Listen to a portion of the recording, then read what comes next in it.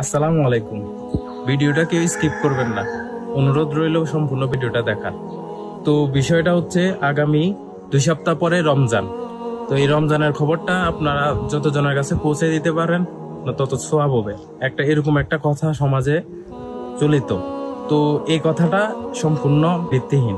আপনার রমজানের কথা এই সময়ে যে সময়টা আমরা আছি, এই সময়ে সবার কাছে কম বেশ মোবাইল আছে সবার আশেপাশে এই ইনফরমেশনটা খুব সহজে চলে আসে।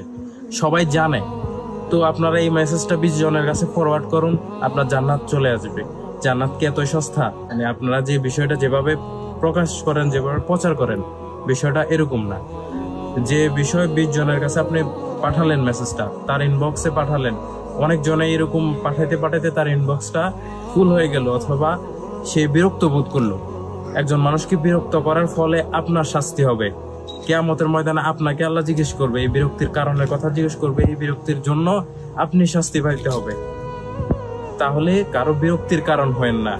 সময় সবাই কম বেশ। রমজান কখন? রমজানের ডেট সবাই জানে। আপনাকে মেসেজ করে জানাই দিতে হবে না। এই প্রযুক্তির যুগে সবাই কম বেশ খবর রাখে। দুনিয়ার খবর সবার হাতের মুঠোয় যে পনেরো দিন পরে রমজান জানাই দিতে পারলেই জান্নাত। এরকম প্রচার করে মানুষে হালকা কষ্ট দিবেন, এর জবাব আপনাকে দিতে হবে।